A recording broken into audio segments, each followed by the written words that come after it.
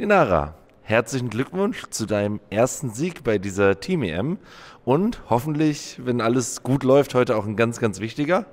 Äh, wie hast du deine Partie erlebt? Äh, ich bin sehr glücklich mit meiner Partie. Ich denke, dass ich habe sehr gut gespielt und äh, viel Druck, Druck gemacht für meine Gegnerin. Ähm, und das war auch meine Lieblingseröffnung, Katalanisch. Also das war alles super. Das war jetzt die erste Runde nach dem Ruhetag, der gestern war. Ähm, wie wichtig war das? Du hattest den Grand Swiss hinter dir, elf lange Runden mit extra langer Bedenkzeit auch, jetzt fünf Runden bei der Team EM. Äh, hat das richtig gut getan, gestern mal einen Ruhetag zu haben? Ja, das ist sehr wichtig für mich, ein, nochmal einen Ruhetag zu bekommen, weil ich fühle mich noch müde nach Grand Swiss und Europapokal. Aber das war sehr schön. Wir sind äh, zusammen mit unserer Mannschaft nach Budva gegangen ähm, und gut gegessen, gut geschlafen. Also Ruhetag ist immer wichtig.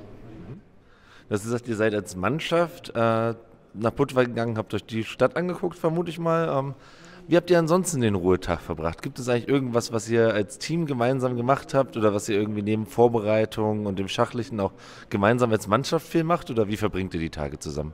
Ja, wir haben wie immer Karten gespielt äh, am Abend nach dem Abendessen und ja, das was machen wir normalerweise nach der Partie. Ihr spielt jeden Abend äh, zusammen Karten als Team? Ja. Was wird da gespielt? Äh, Hanabi. Es ist ein Teambuilding-Spiel. Äh, also wir versuchen äh, etwas spielen, das nicht ähm, sehr konkurrent ist. Ja, das klingt schön. Äh, dann will ich dich gar nicht länger in Anspruch nehmen. Äh, herzlichen Glückwunsch zu deinem Sieg und äh, hoffentlich dann auch zum Mannschaftssieg, wenn alles gut geht. Vielen Dank. Dieter, danke, dass du zu uns zum Interview gekommen bist. 2-2 gegen Deutschland mit einem rumänischen Team. Du hast gegen Dimitri Kollas gewonnen. Magst du uns einmal erzählen, was dir bei diesem Kampf alles durch den Kopf ging? Ja, das war alles andere als einfach. Zum ersten wollte ich hier gar nicht spielen, aber das ging nicht. Ja, die jungen Leute in Rumänien sind nicht so stark wie die Deutschen. Und ich musste dann, ich arbeite jetzt als Trainer meistens. Und ich hatte auch ein sehr verdammt schweres privates Jahr. Und dann wollte nicht unbedingt spielen und heute auf keinen Fall wollte ich spielen, das ist klar. Aber, aber es wurde so entschieden und man kann ja nichts machen, leider. Gut, jetzt hat es zum 2-2 gereicht, das ist natürlich, aber ich, ich dieses Gewinn, ich, ich freue mich nicht, gar nicht, also ist ganz komisch, ja. Ja, das ist, glaube ich, auch besonders. Ich meine, mit fast allen von den Jungs warst du ja letztes Jahr noch bei der Schacholympiade. Ähm, du meintest am Anfang der Partie, hast du das auch richtig gespürt? Äh, wie war das? Vielleicht magst du es einmal. Es war mir sehr, sehr unangenehm, ehrlich gesagt. Ja. Aber ja, man kann ja nicht Remis schieben und dann muss man einfach spielen. Letztendlich ist das einfach Sport und okay, man muss spielen, wo man kann. Ja. Du hast ja gegen Dimitri eine lange interessante Partie gespielt. Vielleicht kannst du uns dazu zwei, drei Worte sagen? Ich glaube, die Partie war ausgeglichen im Ganzen, aber irgendwie im Endspiel hat er ein paar Fehler gemacht und nach Springer B7 habe ich nicht mehr gesehen. Vielleicht hat er noch eine Rettung. Ich glaube, statt ähm, Dame C2 dort Springer D4 war noch ein Zug, der, der trickreich. Ich hatte es eigentlich vom Dimitri erwartet, aber ich fühlte, dass er schon quasi aufgegeben hat.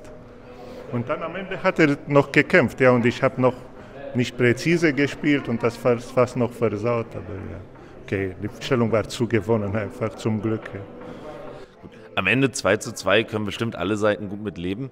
Ähm, vielleicht noch zu eurer Zielsetzung. Ihr seid ja wirklich ein starkes Team jetzt äh, in Rumänien. Da ist, glaube ich, auch einiges für Bewegung im Schach.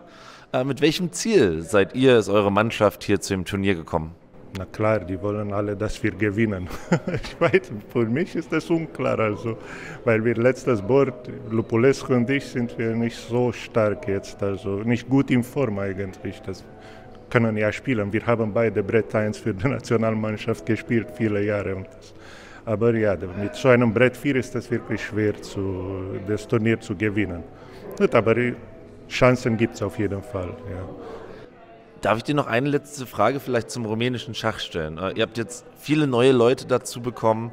Es wird irgendwie auch viel investiert, hat man von außen den Eindruck. Äh, magst du uns vielleicht so ein bisschen erklären, was da gerade alles in Bewegung ist? Ja, wir haben jetzt diesen neuen Sponsor, das Superbet und, die, äh, und nicht nur Superbet, es gibt noch ein One United, das steht auch auf unserem Sakko. Und die unterstützen Schach wirklich sehr. Und okay, außer der Nationalmannschaft auch Junioren und die Jugend wird unterstützt. Man hat ja schon gesehen, bei der EM haben wir ein paar Medaillen gekriegt. Das ist sehr schön.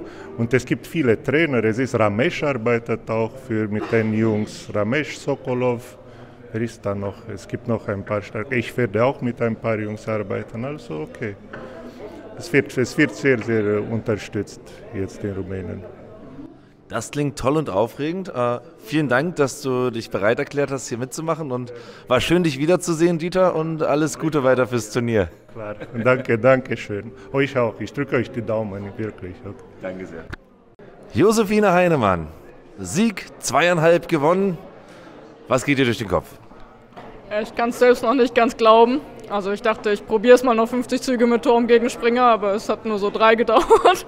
Also, ja, ich habe es äh, nicht kommen sehen, aber ich bin natürlich sehr glücklich, dass das auch vor allem den Mannschaftssieg eingebracht hat.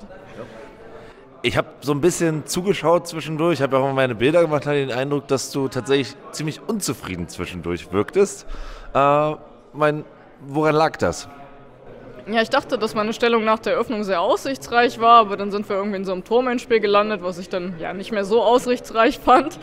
Und später im Turmendspiel dachte ich wieder, ich habe gute Chancen und wie Juri mir mitgeteilt hat, habe ich wohl auch einen ziemlich trivialen Gewinn verpasst. Äh, aber ja, dann war es halt irgendwie Remis, nur sie hat es nicht verstanden. Ja, ich meine, jetzt ist es dir gelungen, äh, ein im Prinzip ziemlich ausgeglichenes, an einigen Stellen auch manchmal ein bisschen trockenes Turmendspiel noch in einen ganz, ganz wichtigen Punkt zu verwandeln. Und du hast jetzt fünf aus sechs Punkte bei dieser EM. Äh, ein hervorragendes Ergebnis. Ähm, Woran liegt es, dass es so gut bei dir läuft gerade? Also heute war einfach Glück. Davor die Runden habe ich insgesamt auch gut gespielt, aber also heute hat sie einfach schon sehr geholfen. Ähm, also es hilft auf jeden Fall, dass die Vorbereitung wirklich in jeder Partie klappt. Das ist bei mir sonst tatsächlich nicht so, aber hier klappt alles super und äh, da helfen unsere Trainer natürlich auch sehr. Jetzt war das heute ein weiterer Sieg bei dir. Die Nara hat ihren ersten Sieg im Turnier eingefahren. Äh, ihr konntet das wettmachen, dass es bei Ellie heute nicht so lief und habt euch jetzt wieder an die Spitze herangekämpft. Glaubst du jetzt mit dem Ruhetag, den ihr hattet, wo, glaube ich, auch ein bisschen wichtige Erholung mit dabei war und dem Ergebnis im Rücken, äh, dass ihr mit viel Selbstbewusstsein in das nächste Match reingehen könnt? Das hoffe ich doch. Also ich denke, wir freuen uns auf jeden Fall auf die weiteren Matches und äh, heute Abend werden wir erstmal glücklich sein, dass wir gewonnen haben. Hm, wie hast du eigentlich deinen Ruhetag gestern verbracht? Äh, wir waren mit fast der gesamten Mannschaft zu Fuß in Budva, äh, haben da Mittag gegessen, um mal ein bisschen Abwechslung vom Hotelessen zu bekommen und sind dann wieder zurück. Und nachmittags habe ich ein kleines bisschen vorbereitet, aber ansonsten ja, mich hauptsächlich ausgeruht, ein paar E-Mails beantwortet und sowas. Vielleicht eine kurze Frage, weil wir darüber noch so gar nicht mit irgendwem hier gesprochen haben. Wir sind hier in Budva in Montenegro. Gestern habt ihr die Gelegenheit genutzt, euch so ein bisschen umzuschauen. Äh, wie findest du es hier in Budva in Montenegro? Also grundsätzlich ist hier sehr schön, das Wetter ist auch für November traumhaft. Es ist ein bisschen schade, dass es recht viel regnet, aber gestern zum Beispiel war auch den ganzen Tag strahlend blauer Himmel. Das war natürlich sehr glücklich am, am freien Tag. Und ja, ansonsten ist es hier sehr schön, es ist recht warm, man kann schön am Meer spazieren gehen, das ist äh, perfekt. Dann danke ich dir und wünsche dir weiterhin eine so erfolgreiche EM wie bisher. Dankeschön.